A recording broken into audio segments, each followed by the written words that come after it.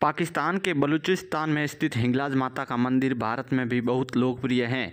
हर साल हज़ारों की तादाद में लोग दर्शन के लिए जाते हैं। पाकिस्तान के बलूचिस्तान से पाँच साल पहले खत्री समाज की ओर से अखंड ज्योत को बाड़मेर में स्थापित किया गया है।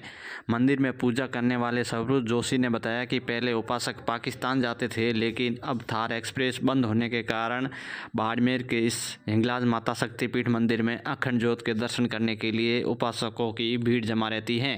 शारदीय नवरात्रि में माता हिंगलाज के मंदिर में विशेष पूजा, अर्चना भी की जाती है।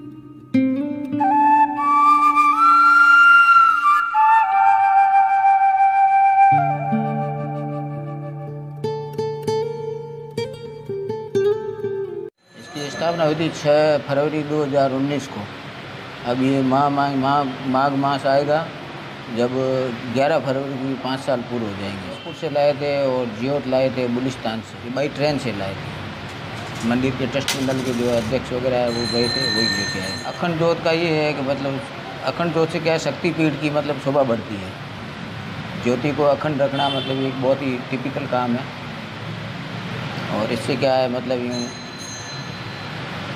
क्या कहते हो? सक्रियता रहती है।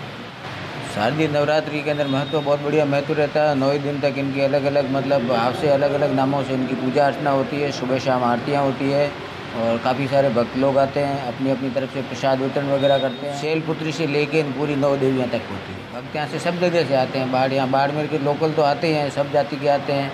बाकी बाहर उदयपुर से भी आते हैं, गुजरात से भी आते हैं, महाराष्ट्र से भी आते हैं, खूब सारे लोग आते हैं।